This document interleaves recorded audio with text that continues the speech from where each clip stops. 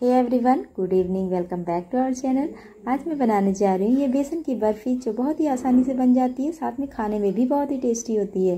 तो चलिए बनाना शुरू करते हैं। इसके लिए मैंने गैस ऑन किया, उस पर कढ़ाई रखी गर्म होने के लिए।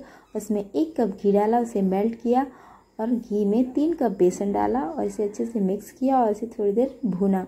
भुनने के बाद मैंने थोड़ा सा हल्दी पाउडर लिया और इसमें ऐड किया, इसमें मिक्स किया, फिर इसे थोड़ी देर फिर से इसे भुना और फिर मैंने इसमें इलायची पाउडर डाला, इसे मिक्स किया और फिर से बेसन को भूना। फिर जब तक कि इसका कलर चेंज ना हो जाए, फिर मैंने गैस ऑफ़ कर दिया और फिर इसे ठंडा होने के लिए रख दिया। ठंडा होने के लिए मैंने बड़ा बर्तन लिया, फिर इसे जब तक ये ठंडा होता है, तब तक मैं चीनी को ग्राइंड कर लेती हूँ।